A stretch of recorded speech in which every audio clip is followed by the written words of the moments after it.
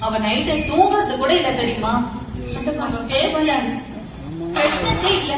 Yes next time போடுறேன். அவளை யாரும் டிஸ்டர்ப் பண்ற மாதிரி எனக்கு தெரியுது. ம்.